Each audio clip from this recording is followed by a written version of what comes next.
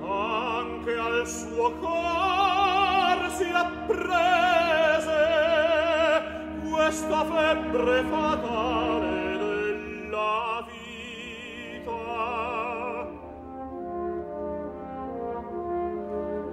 Anche i saggeri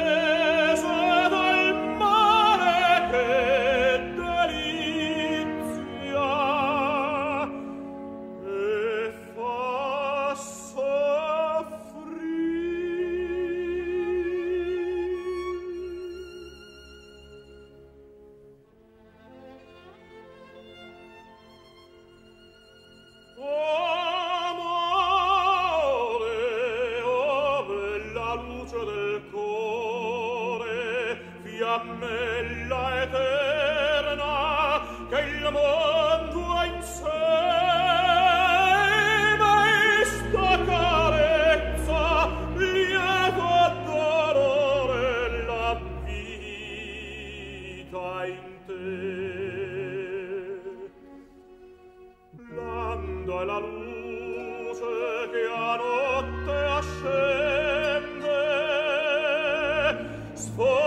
ora il sole possente ogni anno